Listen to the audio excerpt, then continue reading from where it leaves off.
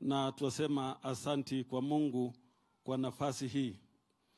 Now, my Lord Bishops, Your Excellency, the President of the Republic of Kenya, and uh, the, His Excellency, the Deputy President, and all leaders present, we are gathered here for a solemn service, which we are coming to an end of it. We also recognize the times in which we are in as a people and as a nation. And as a church, all belong to the church. Our young generation, the Gen Zs, the church is yours. The nation is yours. And our families are your families. And uh, we thank you for being our children. But we are also in a nation called Kenya, which belongs to all of us. Let us all share by listening to one another.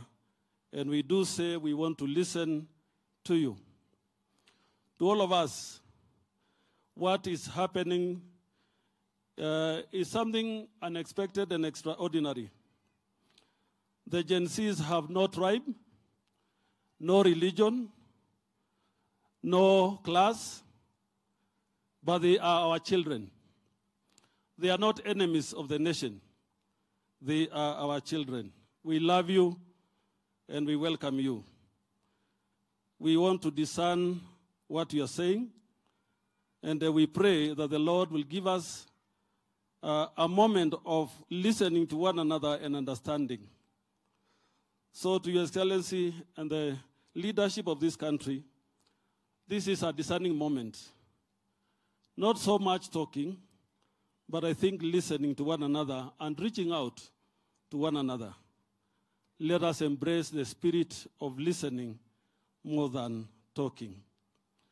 And I want to encourage that even in what is going on, those are children from our families. Let us not use any excessive force, but we also urge them not to be lawless and destroy or maim or kill. Let us be civil, each and every one of us. I was uh, shocked on Thursday when uh, I was in Narok. I went to vaccinate my animals. And uh, we came and found the young people demonstrating, and I had one of my sons in my car. He jumped out and said, I'm going to my age mates. So they are our children, they are in our homes. Let us journey together to seek solutions that affect Kenyans and fix them because we have capacity, but in a loving way. May God bless us and bless each and every one of us.